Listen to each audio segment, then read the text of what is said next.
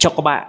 Trong vụ án Đường Nhuệ thu phí hỏa táng, ai là người đã đích thân giúp cho Đường Nhuệ thu phí hỏa táng? Vâng, đó chính là Ninh Đức Lợi, người đàn em thân cận của Đường Nhuệ.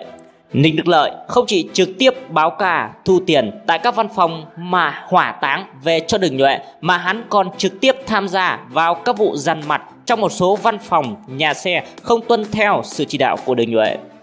Trong quá trình điều tra các cái sai phạm của băng nhóm Đường Nhuệ, ngày 22 tháng 4 năm 2020, Công an tỉnh Thái Bình đã tống đạt quyết định khởi tố vụ án, khởi tố bị can để điều tra hành vi có dấu hiệu phạm tội cưỡng đoạt tài sản.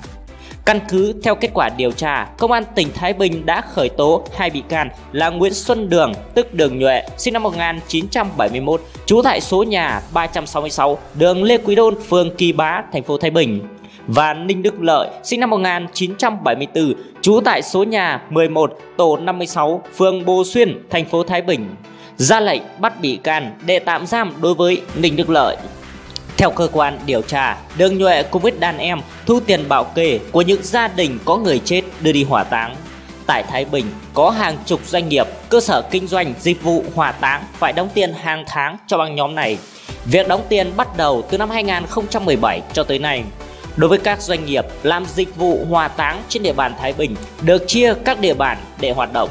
Trong đó, mỗi doanh nghiệp chỉ được thực hiện dịch vụ này trong phạm vi khoảng 10 xã và không được xâm phạm lãnh địa của nhau theo báo thanh niên thông tin. Hơn nữa, khi đưa đi hỏa táng thì các doanh nghiệp phải báo cáo tên tuổi, thời gian, địa điểm cho băng nhóm của đường nhuệ biết. Việc này được chúng gọi là báo cả. Định kỳ, mỗi tháng hai lần vào ngày mùng 5 và ngày 20 âm lịch, đàn em của Đường Nhuệ sẽ đi thu phí mỗi ca hỏa táng là 500.000 đồng. Theo cơ quan điều tra, đàn em giúp sức đắc lực cho Đường Nhuệ trong vụ án này là Ninh Đức Lợi. Đối tượng này là lao động tự do, có thời gian bán bia ở thành phố Thái Bình. Về mức độ ảnh hưởng của Lợi tại đất Thái Bình thì không thể sánh bằng Đường Nhuệ được. Người dân ít biết đến Lợi. Người dân phường Bồ Xuyên, thành phố Thái Bình và những người biết nhiều tin tức về băng nhóm của Đường Nhuệ cũng đều khẳng định thông tin về Lợi là khá ít, không có nhiều người dân ở Thái Bình biết về đối tượng này.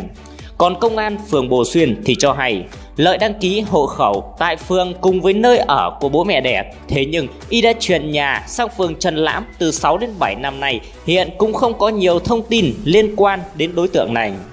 Liên quan đến vụ Thu phí hỏa táng, ông Trần Ngọc Giao, Chủ tịch Hội đồng Quản trị Công ty Hoàng Long cho biết, Lợi là đối tượng đã trực tiếp báo cả thu tiền tại các văn phòng hỏa táng về cho Đường Nhuệ. Không chỉ vậy, Lợi còn trực tiếp tham gia vào các vụ dằn mặt trong một số văn phòng, nhà xe không tuân theo sự chỉ đạo của Đường Nhuệ.